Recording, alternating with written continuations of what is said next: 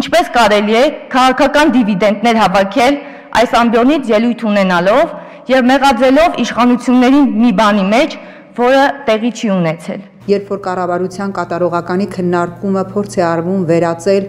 ռազմբորկայի, խոսում է մեկ բանի մասին, որոշ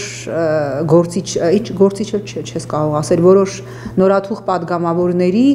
բարեկրթության եւ քաղաքական հասունության բնականաբար պակասի մասին։ Իշխանությանը ունդիմության բանավեճը ապրիլին Բաղրամյան պողոտայում ոստիկանության հատուկ միջոցներից վնասվածքներ ստացած Զավեն գրիքորյանի առիթով է։ Նա Երազորաբյանի հայտարարությունը, թե պետությունը մենակ է թողել հեղափոխության որդիներից մեկին, դուր չեր եկել իշխանական թևին։ Զորաբյանի մտահոգություններին արձագանքել էին նաև առողջապահության նախարարն ու Զավեն գրիքորյանի փաստաբանը։ Ֆեյսբուքում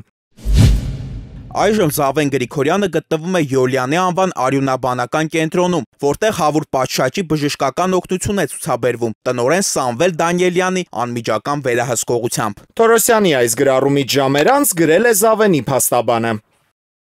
Գործադիր իշխանությունը բացի 2018 թվականի հունիսին վարչապետի ֆոնդից հատկացված 2 միլիոն դրամ օգնությունից, սա ինչ վերաբերում է այն հայտարարությանը, թե մեծ գումար է հատկացվել Զավենին վարչապետի ֆոնդից, այլ միջոց կարծես թե չի պատրաստում ձեռնարկել, սակայն ականատես եք իշխանության բարի համբավի բյուր մարտիկների ինքնադրսևորման։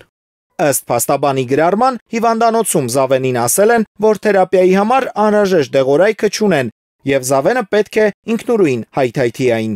Առողջապահության նախարարության հետ քննարկումների արդյունքում ինձ հայտնեցին, որ այդ հարցով նախարարությունը եւս չի կարող օգնել։ Կցանկանայի հասկանալ, թե արդյոք այն պատասխանը, որ առողջապահության ներկայացուցիչն ինձ տվել է կապված Յոլյանի անվան բժշկական կենտրոնում անհրաժեշտ դեղորայքի հետ, որի հարցում մեզ չեն օգնելու սուտ է, թե համապատասխանում է իրականությանը։ Եթե ճիշտ է, ապա անհասկանալի է նախարարի անհանգստությունը։ Երբ որ նախարարը հայտարարում է, որ ես հրամայել եմ գումար չվերցնել, հանձնարարել եմ գումար չվերցնել, իսկ Զավենին ներկայացնում են